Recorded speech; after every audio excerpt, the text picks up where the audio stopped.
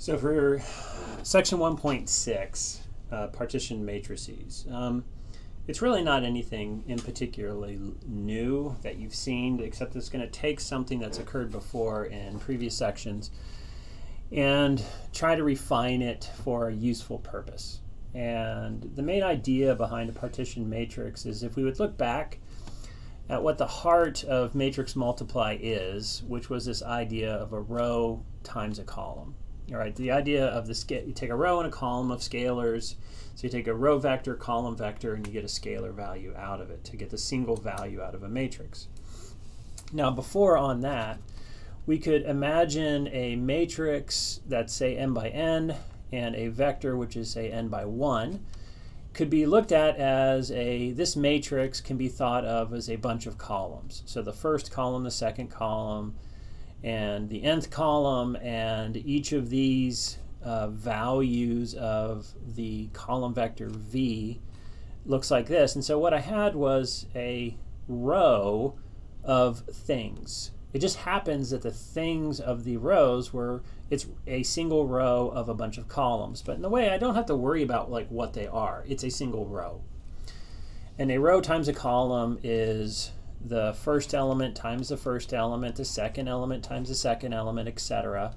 Except for this particular example, uh, it is true that the thing that you're multiplying, the, the stuff in this particular row, the stuff in this one row are actually vectors. So it's a vector times a scalar, a vector times a scalar. And normally we don't write them that way you know, the, the typical way that we would write a vector and a scalar multi multiplying is to put the scalar first instead of second. It doesn't necessarily have to be that way, but it is the traditional correct way to say that you have a scalar times a vector or a vector times a scalar is put the scalar in front so it doesn't cause confusion. a different way of looking at it, and so that's kind of interesting. It's interesting that I could think of a matrix as a single row of objects, but each of those objects just happen to be a column vector, right? But it is a single row of a bunch of columns, and that would make a block. A different way of looking at this multiplication would be to say, well, what, what is A? A could be thought of as a bunch of rows. And if A is a bunch of rows and V is a single object, well, this acts like a single column of many things and this is a single object and so normally we would have what do you do on a scalar times a vector well it would just simply go through each of those elements and so we would have the first guy gets the v, the second guy gets the v, the mth guy gets the v. And when we talk about scalar multiplication, we're really saying this distribution. It distributes. But I leave it in this order because traditionally it makes more sense to say that, not traditionally, but when we have a row vector times a column vector, the scalar product, right, it returns a single value. And so I'll just leave that order there. And so we've been doing this before, where I think of A as not just simply a block of these AIJs throughout, but I group them. I could look at it as groups of columns or groups of rows and then deal with the groups. And that's important, again, to remember that when you talk about a matrix times a vector, that's two ways of thinking about it. And this is also true when you do scalar multiplication. Now, we're doing that with we're doing that with vectors, right, for a's, but could we do it for you know, any particular thing. We're doing the same sort of stuff as if they are scalars. We do the same operator, but we're doing some sort of grouping idea on it. And so what we saw of A being thought of as a single row of things, and I just did the normal, right? First object times second object, first object, second object times second object, last object times last object. I did the exact same technique as if it was a normal scalar. Scalar times a scalar, scalar times a scalar, scalar times a scalar, scalar times a scalar, and then we try to do the end result in terms of what you see. Now, what does this mean for partitioning matrices. So what we've already seen already is that I can imagine or just apply towards a matrix. A matrix can be thought of as a single row of a bunch of columns. I have the first column, the second column, the last, the, the nth or the last column. I could think of A instead of being a single row of a bunch of columns, I could think of A being a single column of a bunch of rows. And we did that as well. Now, since it was useful, and, one of the things that always happens, like, hey, this is useful, you can pause and say, well, could I do any partitioning? Instead of saying that I'm only going to look at these things as a bunch of columns or I can look at this thing as a bunch of rows, could I partition it into other values? In other words, if I have a matrix like this, I could go through here and say, okay, I have a row, I have a row, I have three rows that are involved. So I have one column of three rows. Or I could look at this and say, no, no, no, I want to look at it as columns. I have one row of one, two, three, four, five columns. Now the question is, is like, okay, you're partitioning it that way. Would it also be useful if I would say partition it into, say, two pieces, like this? I partition it into a two by two partition where one is a one by four and this is a one by one and this is a two by four and this is a, a two by one. In other words, I just simply grid it out across the entire system. Now, one of the things that I can't do is I can't do something like this, like a partition within a partition. That's not what we're talking about. What we're talking about is to take the entire thing and partition it across the entire rows or across the entire columns as we go. And so I could have something like this. It's like if I was interested in having to say, oh, I want to have two rows and three columns on my partition. And so I could take this thing and say I want to have that partition and then I'll do this and this. So now I have two rows and so I could say that this could be thought of as the first row, first column of my partitionings. And this one here would be the first row, third column of my partitionings. And this row, this group here could be considered my second row, second column partitionings. And it ends up for this one, I would say, oh look, this group ends up being two by two. And this one over here ends up being a one by two. And so all I'm going to do is just simply break this into gridding structures. Now, you have to make sure, obviously, that these are correctly sized blocks. In other words, there isn't any, you don't get to do things like this. You can't just do a partition partial inside, right? We have to go across the entire matrix, either column-wise or row-wise. And then we get to see that everybody gets broken down into smaller matrices. Now, what's amazing about this is all of the operations of normal matrices scalar multiplication, matrix addition, matrix multiplication will all be the same, except the following issue must be thought of. You just you're not free to pick any partition you want. You're going to have to pick partitions that make sense according to your operation. In other words, as long as the sizes this partition you make actually match up correctly when you try to do an operator. And so what do I mean by that? So if I would take a problem here and I have a matrix that's partitioned and I want to add it to another matrix, right? One of the things that happens is what has to be true for addition? Addition requires that you have exact same sizes. And so if you're going to have the addition operator, that would mean that the partitions on this size side have to be not only the same partitions, and so like for example, this is a two by two partition, but not only that, the insides of the partitions, and so this has to be a 2 by 2 partition, but the sizes of their insides all have to match. In other words, this has to be a 1 by 3. This has to be a 1 by 2. this has to be a 2 by 2. This has to be a 2 by 3. Why? Because you add like things. This has to add to this. And so if you're going to add a 2 by 2, it has to add to a 2 by 2.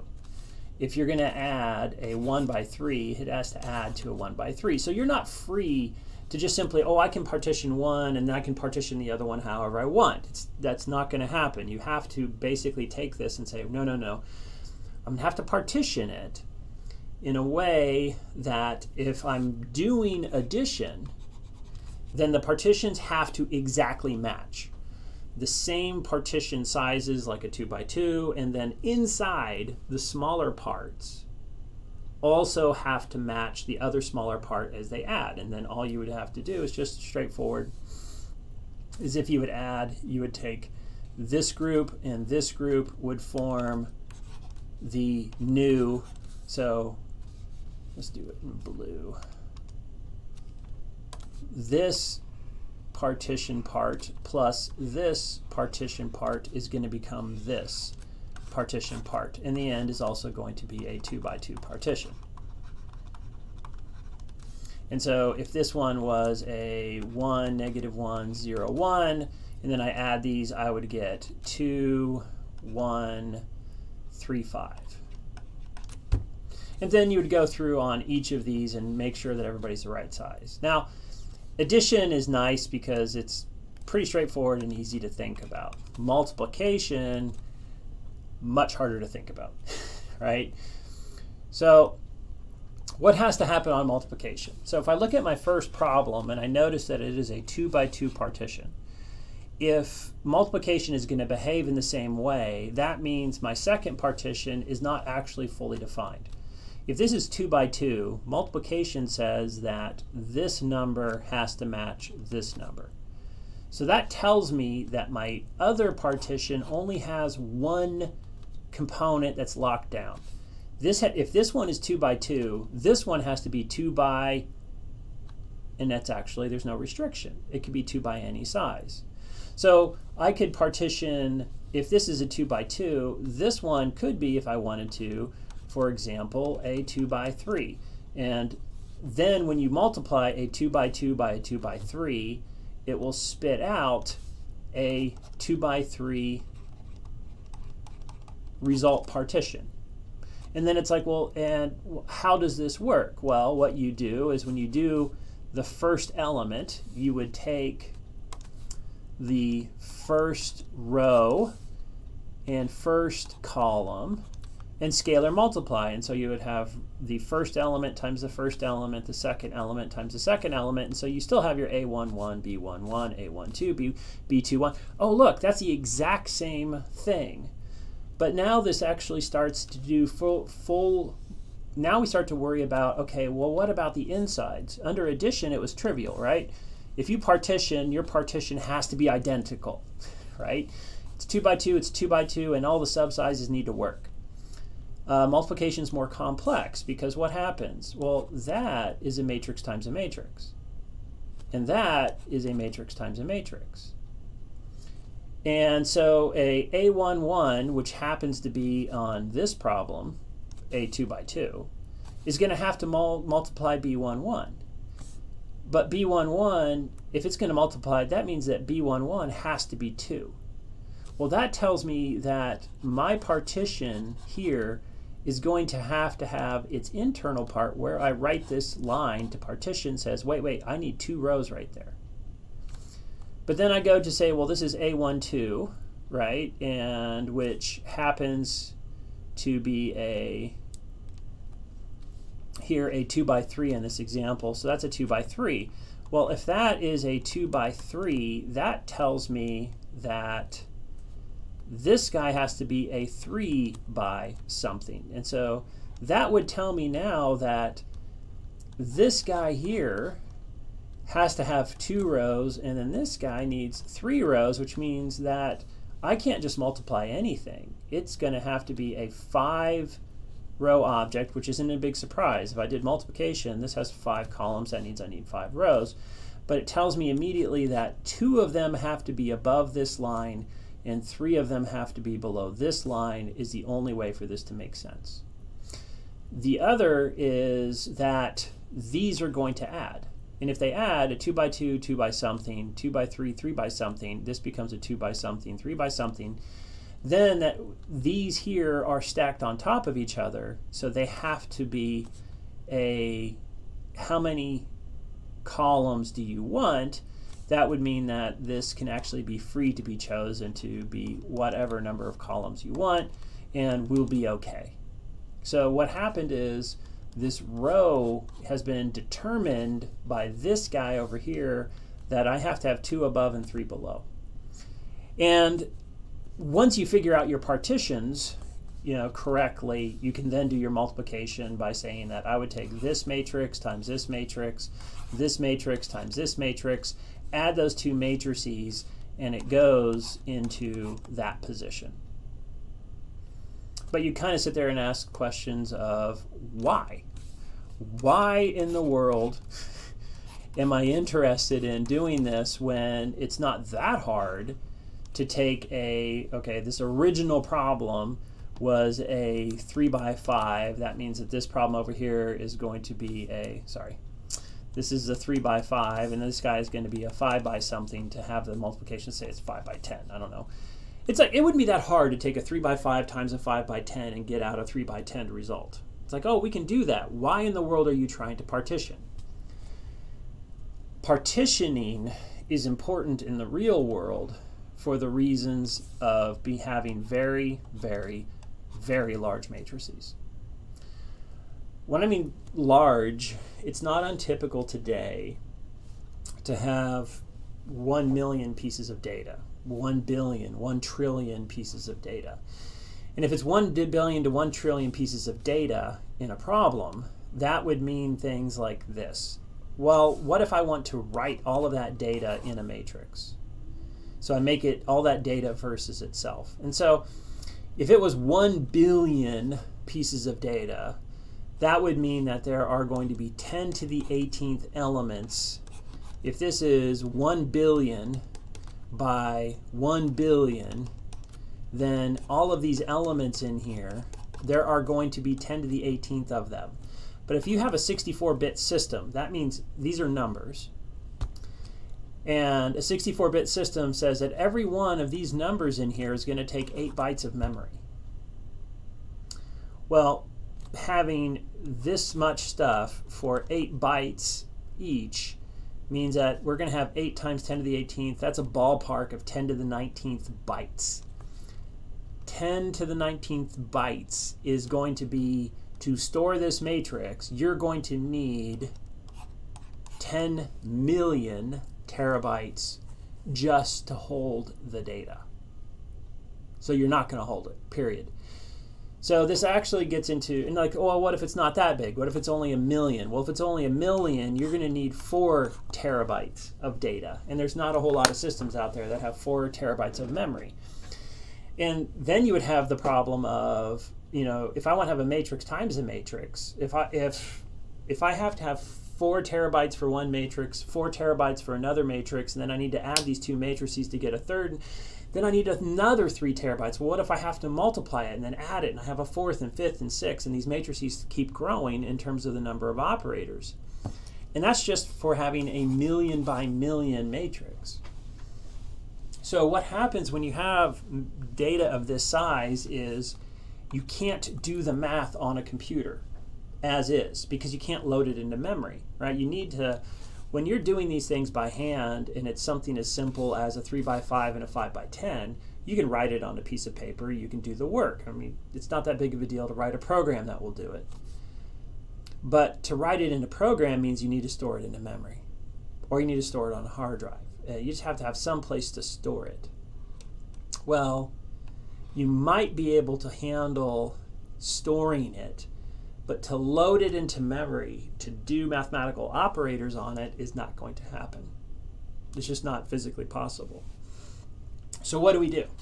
Well, instead of keeping four terabytes in memory, what you do is you take your very large matrix and you partition it and you take your next very large matrix and you pick an appropriate partition as well according to whatever operator you're doing And then when you're calculating the results of this thing, you don't load the entire matrix, right? This part of the output doesn't need everything. It just needs like this piece, this piece, this piece, and this piece, this piece, and this piece. So I will only load into memory the parts that I need to do this part of the end result. And then I destroy all that and load into memory the next parts to get the next part, right?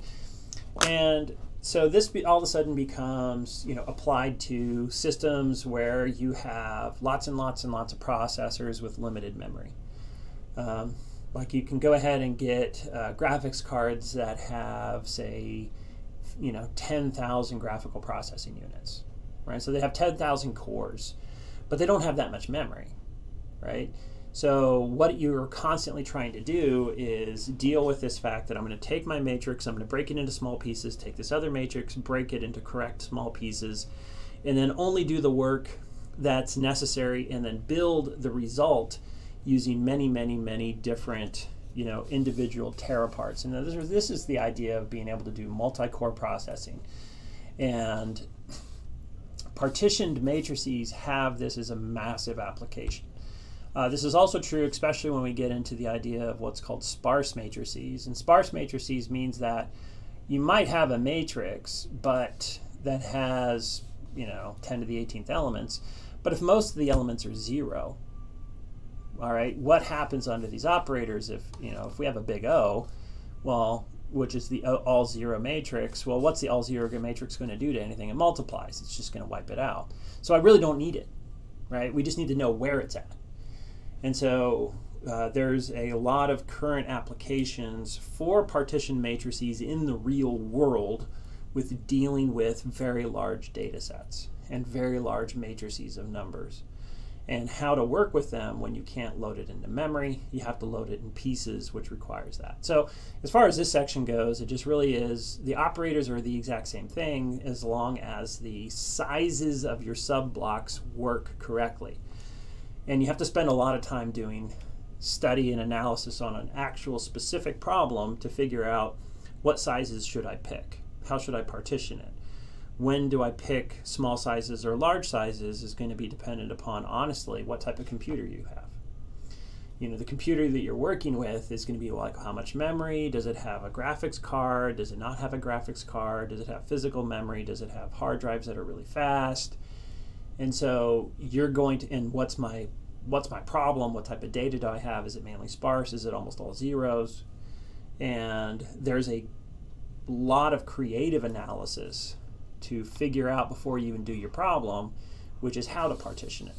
But once it's partitioned, it's straightforward. You just do the operators in the same way that you do in the past. All right, that's 1 6.